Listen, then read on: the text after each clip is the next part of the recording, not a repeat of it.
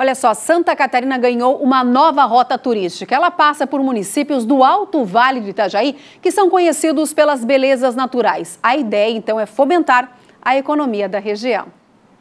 A terra conhecida como a capital nacional da cebola está pronta para entrar na rota do turismo catarinense de uma forma diferente.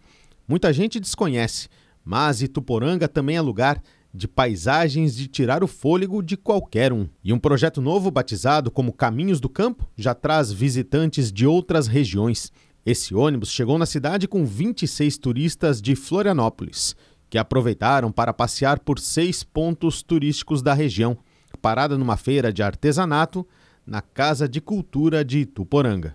Rota Caminhos do Campo é um projeto da Assessoria de Turismo e Cultura da AMAV, Associação dos Municípios do Alto Vale do Itajaí, e está implantada então em cinco municípios dessa região.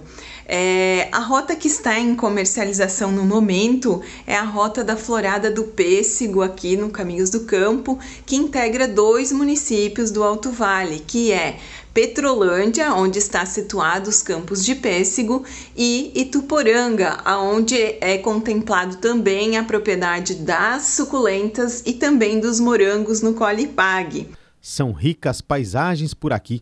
A flor cor-de-rosa dos pessegueiros deixa qualquer um de boca aberta e faz, com certeza, valer a pena cada minuto investido na viagem.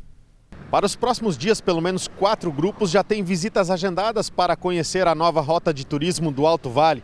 São turistas de Balneário Camboriú, Florianópolis e Joinville.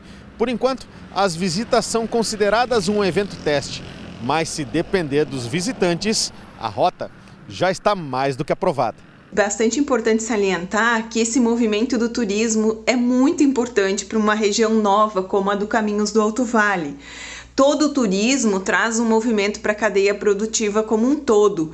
É, esses turistas eles estão vindo para a região com o intuito de comprar produtos que são da agricultura familiar, além de levar essas lembranças e experiências únicas que as nossas propriedades proporcionam.